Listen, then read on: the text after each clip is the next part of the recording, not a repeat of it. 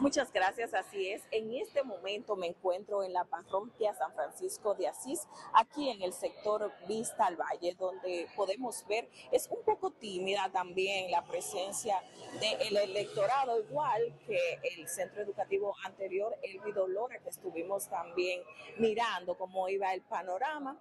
Eh, aquí consta de cuatro colegios.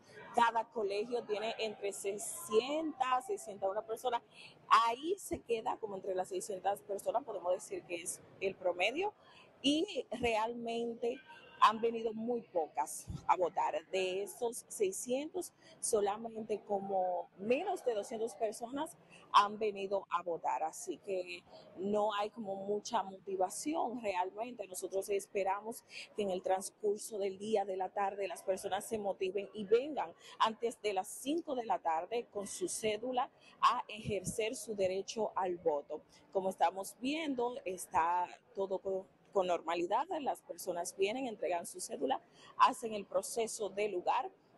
Hay dos urnas para la alcaldía, para los regidores y ellos eh, se encargan, ¿verdad?, de, de manera muy privada ejercer su derecho al voto, un derecho democrático de un país que quiere vivir en democracia y este mes de febrero, mes de la patria, qué mejor mes para realmente hacer esta fiesta a la democracia, a la patria, de elegir quiénes nos van a representar en estos próximos cuatro años. Ahí estamos viendo personas votando con mucha responsabilidad, vinieron a ejercer su derecho y a eh, ejercer el sufragio.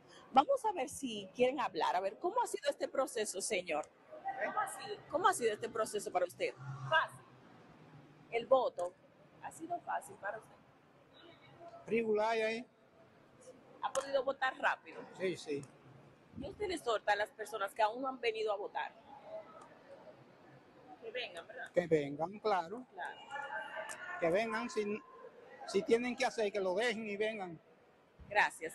Bueno, ahí está las personas motivando a que vengan, a las personas que le toca en estos colegios que están en la parroquia San Francisco de Asís a ejercer el sufragio. Es muy importante para todos los municipios y distritos municipales que usted venga a votar. Así que nosotros estamos aquí en la parroquia San Francisco de Asís, no trasladaremos a otros centros de votaciones para mantenerlos informados a ustedes de todo lo que ocurra desde este momento hasta las 5 de la tarde que se cierran las votaciones y luego hasta el último boletín. Eso es todo lo que tenemos hasta el momento en esta transmisión especial de Tu Voz, Tu Voto, Telenor. Yo retorno con ustedes al centro. Gracias, gracias a Eliana Durán que ha reportado totalmente en vivo desde uno de los recintos electorales en el municipio de San Francisco de Macorís y confirma, Nayi, parte de lo que habíamos estado adelantando con relación a la participación.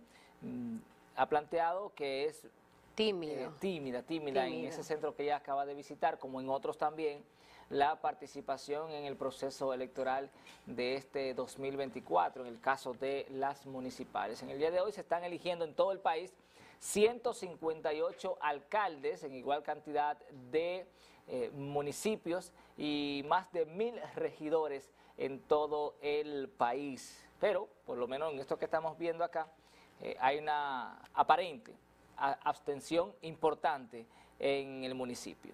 Y ya solo restan minutos para que cierre el proceso. Ocho minutos. Ocho minutos exactamente para que cierre este proceso electoral municipal 2024 y preocupante realmente, es preocupante que la población franco-macorizana, que es la que podemos contactar a través de cada uno de estos recintos electorales, eh, se, eh, se, esté manifestando de, de, manera muy tímida, como decía el reporte de Ileana ahorita, en, en cuanto a la votación. Sí, mira, eh, luego de que se cierren los colegios electorales, luego que se cierren la votación de manera oficial, vamos a dar algunos cuantos datos, pero evidentemente ahora no queremos eh, nosotros ser influenciadores de ningún proceso ni de ningún resultado. Eh, con relación al porcentaje de votación, eh, aparentemente ha habido aquí, no, no, sabemos la razón, pero por lo visto ha habido un poco interés de, o los candidatos no consiguieron, no concitaron el interés de la ciudadanía como en otras ocasiones. Yerjan, y antes de que cierren los colegios, vamos a pasar con Roberto Neris, quien está desde el Colegio Santa Rosa de Lima. ¿Cómo? Roberto